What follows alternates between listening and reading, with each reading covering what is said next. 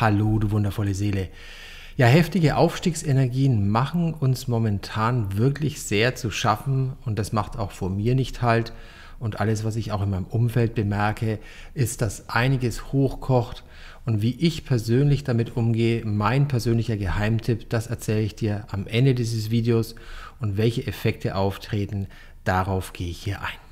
Ja, diese Aufstiegsenergien können sich natürlich unterschiedlich zeigen, aber was ich jetzt für mich persönlich feststelle, ist, dass ich in den letzten Wochen, in den letzten Tagen vermehrt das Gefühl habe, äh, in die Ecke gedrängt zu werden, dass der Druck immer mehr und mehr ansteigt, dass ein Gefühl dabei entsteht, äh, nicht gut genug zu sein, es nicht zu schaffen, ähm, vielleicht auch nur noch äh, diese Rolle, die ich da einnehme, jetzt hier auch auf YouTube, ob ich dem gerecht werde oder ob ich das überhaupt bin, ja.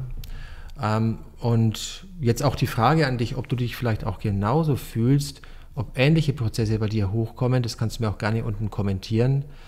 Denn äh, für mich vom Gefühl her ist es so, dass es wie ein Abfragen ist.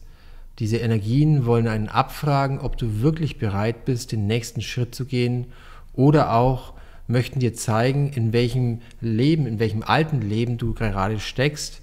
Und ähm, ich kann für mich so äh, beschreiben, dass mir mein altes Leben dann immer klarer wird, in welchen Strukturen, in welchen Gewohnheiten ich momentan lebe und was jetzt auch Denkstrukturen, ja, was ich von mir selber denke und wie ich mich ausrichten will auch, ähm, dass das nochmal auf dem Prüfstein steht. Ja. Und dieser Prüfstein heißt, wenn der Druck immer größer und größer wird, dir dann auch zu überlegen, will ich dieses Leben auch noch so weiterleben? Oder auf der anderen Seite sind verschiedene Projekte, verschiedene Herausforderungen, die ich in der Vergangenheit eben umzusetzen hatte, wo ich auch das Gefühl habe oder hatte, schaffe ich das? Ist es mir nicht zu viel? Kann ich das wirklich halten? Und ähm, das ist so für mich dieses Gefühl, wenn du kurz vor der Schwelle stehst, die nächste Stufe in deiner Entwicklung zu erreichen, für dich persönlich. Und damit verbunden ist es der Sprung auch ins neue Leben, der im ersten Moment unangenehm sein kann, weil du über deine alte Komfortzone hinaus gehst ja, und dann auch vielleicht gepusht wirst dadurch.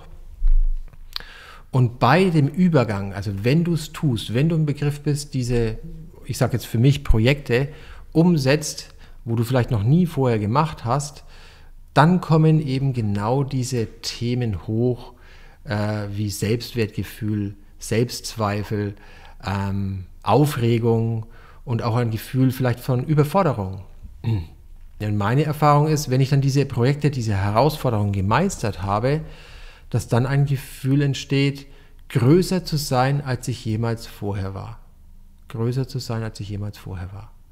Aber diese unangenehme Situation, da eben herauszutreten, ist das, was ich glaube, bleibt keinem erspart, wenn du auf dem Weg bist zu deiner wahren Größe oder auf dem Weg, dich selbst wirklich echt zu zeigen, weil das ist, glaube ich, auch das, was viele Menschen als Hauptblockade haben, wenn es darum geht, sich nach außen hin wirklich so zu zeigen, wie du tief in deinem Inneren bist. Mit all den Ecken und Kanten, mit all den Fehlern, mit all den Prozessen, die vielleicht momentan auch aktiv sind, auch bei mir jetzt in dem Fall, ähm, trotzdem sich echt zu zeigen. Was passiert denn dann? Was passiert denn dann? Dann kommt vielleicht die Angst davor, abgelehnt zu werden, die Angst davor, nicht mehr gemocht zu werden. Oder vielleicht, wenn man noch weiter das Ganze äh, durchgehen, die Angst davor, ausgestoßen zu werden und nicht mehr in deinem Tribe willkommen zu sein. Ja, das ist so die Urangst letztendlich, die auch unten drunter liegen kann. Und auch hier wieder, wenn du das kennst, dieses Gefühl, dann kannst du auch gerne unten kommentieren, weil ich glaube, diese Themen, die ich und andere jetzt eben durchmachen aufgrund dieser Aufstiegsenergien, ähm, dass wir uns selbst bewusst machen, dass wir da nicht alleine durchgehen. Also wir, wir alle gehen durch diese Prozesse durch, durch diese Prozesse der Transformation, des Wachstums und auch ohne zu wissen, wo es vielleicht dann äh, einen hinführt, weil du ja in dem Moment, wo du deine Komfortzone verlässt, vielleicht dich auch zum ersten Mal wirklich richtig echt zeigst, äh, dass dann sowas äh, entsteht wie diese Ungewissheit, diese Ungewissheit, was könnte denn danach passieren, weil dein Verstand sich das natürlich nicht vorstellen kann und äh, sich dann erstmal ausmalt, was wohl Schlimmes passieren kann. Und ähm, das ist der Mechanismus, so glaube ich, den jeder in sich trägt, den jeder in sich trägt. Ja, und das Ganze ist natürlich übertragbar auf alle Lebensbereiche, ob du sagst in der Partnerschaft, wenn du dich dann echter zeigst und vielleicht deine Bedürfnisse, deine, deine wirklichen wahren Gefühle, die in dir stecken, äh, wirklich äh, erzählst, was los ist, ohne jetzt gefallen zu wollen, ohne jetzt auch diese äh, Rolle einzunehmen, ein guter Partner sein zu wollen, einfach du selbst zu sein, du echt, also echt, echt du selbst zu sein. Und ähm, genauso natürlich auch mit dem Beruf und mit den Anforderungen, die im Außen an dich herangetreten werden, äh, wenn du nicht mit allem einverstanden bist, wenn du sagst, jetzt ist eine Grenze erreicht, ja, ähm, sich klar und deutlich auch abzugrenzen, um äh, sich selbst treu zu bleiben. Ja, das ist jetzt ja hier auch ein Prozess, durch den ich in den letzten Wochen ein paar Mal gegangen bin, wenn, äh, wenn Dinge so eine Eigendynamik entwickeln, wo ich momentan so reinfühle, dass sich es einfach nicht mehr stimmig anfühlt. Ja? Am Anfang kann sein, dass, äh, dass äh, eine gute Energie herrscht und je länger das Ganze eben so anläuft und äh, eben so eine Eigendynamik entwickelt, kann es eben passieren, dass das Ganze eben aus dem Ruder ein Stück weit läuft und dann dir selbst treu zu bleiben und dann zu sagen, hey Moment, Moment, stopp, stopp, stopp, das ist mir jetzt zu viel oder das ist jetzt hier die falsche Richtung.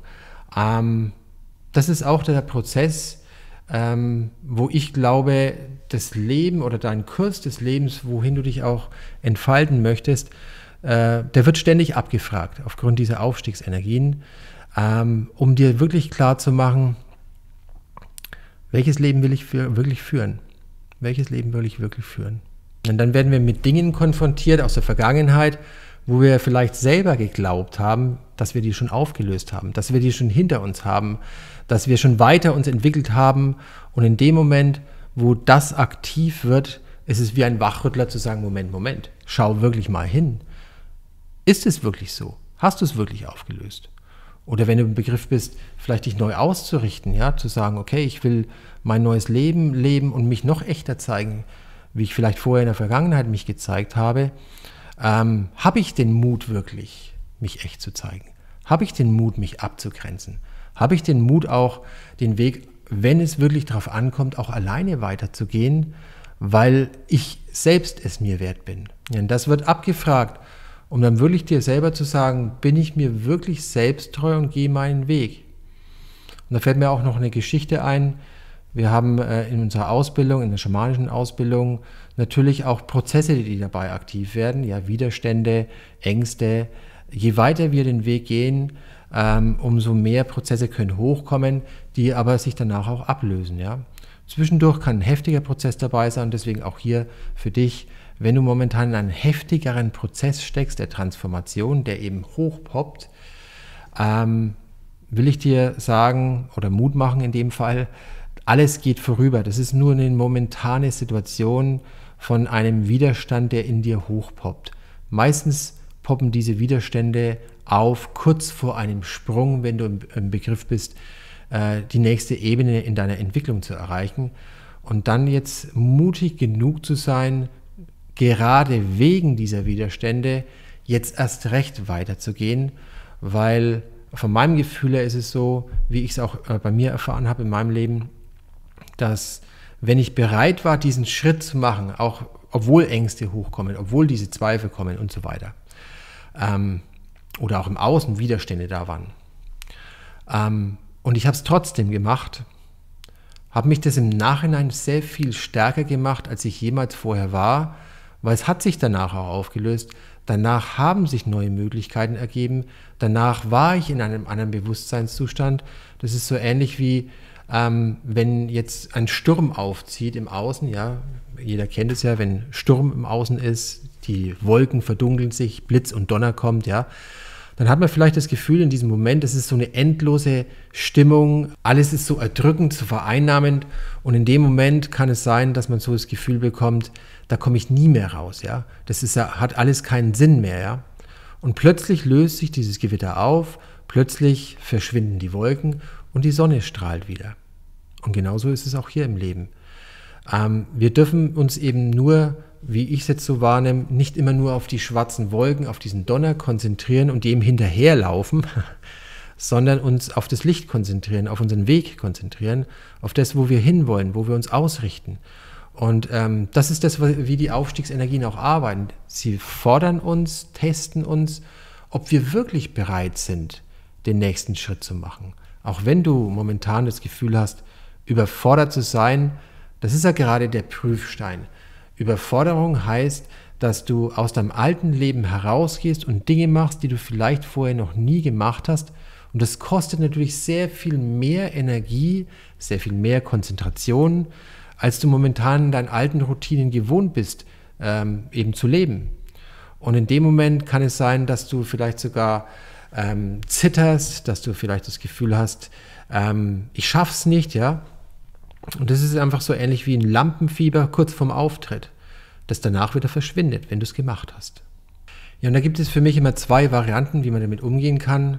Einmal, dass du dich vereinnahmen lässt von diesen schweren Emotionen, von diesen Widerständen, von diesem Druck, der dich scheinbar auch immer mannt, und dann dich wieder zurück ziehst in dein altes, gewohntes Feld, das du kennst.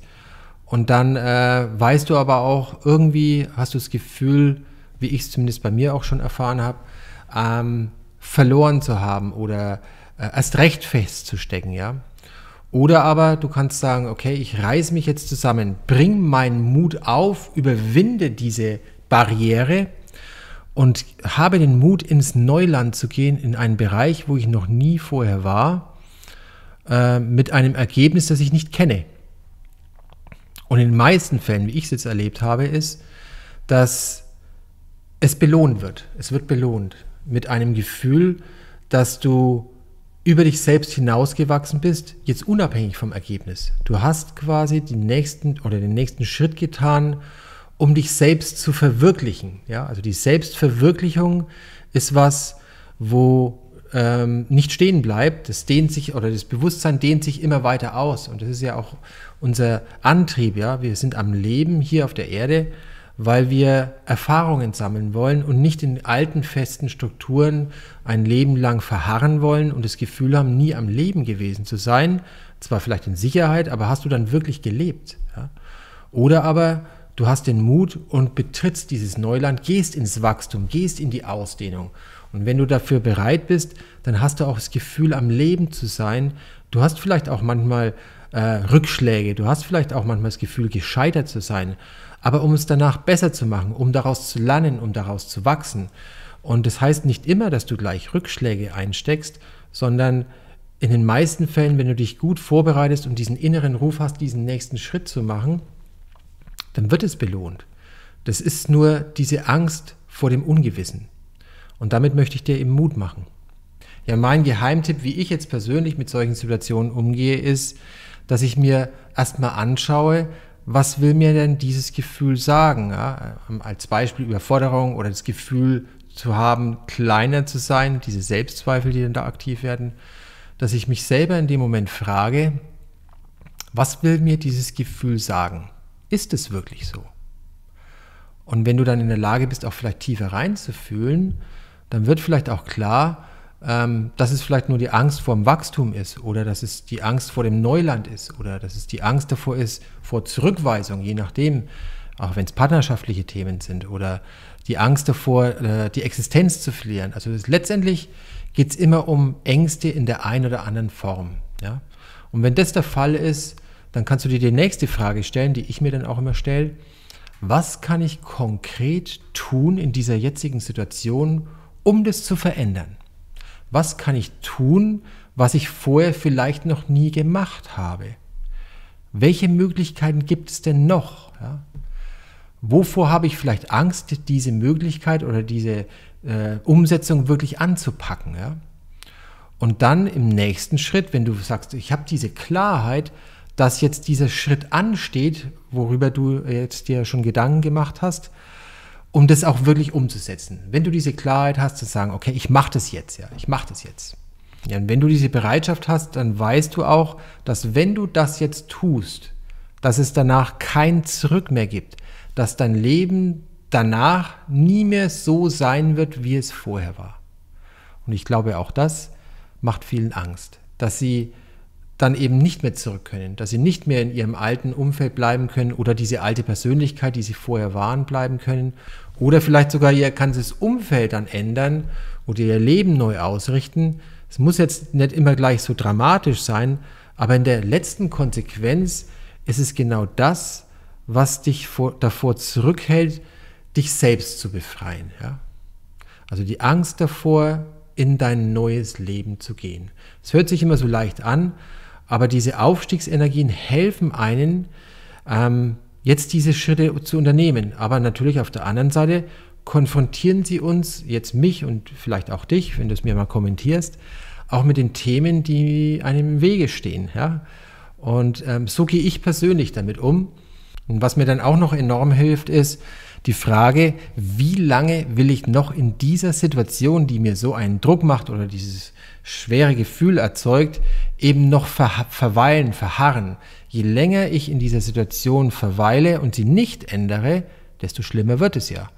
Also bleibt mir sowieso nichts anderes übrig, als das zu tun. Ich kann es nur aufschieben. Oder ich kann resignieren, in meinem alten Leben bleiben, mich ständig darüber beschweren und äh, auf einen Retter im Außen warten, der aber nie kommen wird. Das ist das, was ich am Anfang auch mir immer gewünscht habe, dass ein Retter von außen kommt mich befreit und dann all die Herausforderungen, die da vielleicht kommen mögen, einfach für mich übernimmt und ich, ich muss mich um nichts kümmern. Aber ich habe auch gelernt, ähm, dass diese Stärke, die du dir jetzt vielleicht auch wünschst, oder dieses Selbstvertrauen, das du dir vielleicht jetzt auch wünschst, nur daraus entstehen kann, weil du eben diesen Schritt machst, in den Mut gehst, das zu verändern. Und aufgrund dessen entwickelst du danach die Stärke. Und äh, als ich das für mich erkannt habe, weiß ich ja auch, es gibt keinen anderen Weg als den, sich damit zu konfrontieren. Denn was mich auch noch zusätzlich motiviert ist, ich war schon auf ein paar Beerdigungen und beim paar Menschen wurde auch erzählt am Grab, in der Grabesrede, dass es ganz liebe Menschen waren, dass sie sich aufgeopfert haben bis zum Schluss. Sie waren immer für andere da, sie waren immer ein gutes Mitglied der Gesellschaft und deswegen immer in guter, bleibender Erinnerung waren. Ist nichts Verwerfliches dran, aber genau das will ich eben nicht, dass das Menschen an meinem Sterb oder an meinem Grab äh, zu mir sagen, sondern ich möchte äh, bekannt sein oder auch dafür stehen, dass ich meinen Weg gegangen bin, dass ich mir selber treu geblieben bin, dass durch meinen Weg, den ich gegangen bin, ich andere motiviert habe, sich selbst zu befreien, dass ich äh, vielleicht sogar noch was Bleibendes hinterlassen habe, um die Menschen weiterhin zu inspirieren. Und das motiviert mich auch noch zusätzlich, äh, mir selbst treu zu bleiben, denn durch mein eigenes Leben, wie ich lebe und mir selber treu bleibe, äh, kann ich andere Menschen inspirieren nicht, weil ich anderen Menschen immer nur gefallen wollte oder es anderen recht machen will, ähm, sondern weil ich mir selbst treu bleibe und äh, dass ich bis zum Schluss mir sagen kann, mit erhobenen Hauptes, ich habe mein Bestes gegeben, ich war mir selbst treu und bin meinen Weg gegangen. Ja, das waren meine Impulse zu diesem Thema und wenn dir dieses Video gefallen hat, dann leite dieses Video gerne an andere weiter oder teile es und wenn du mehr Impulse oder auch Einblick in meine Tagesroutinen haben möchtest, dann folge mir einfach auf Instagram. Der Link ist auch unten in der Beschreibung. Bis zum nächsten Mal. Bis dann. Ciao. Tschüss.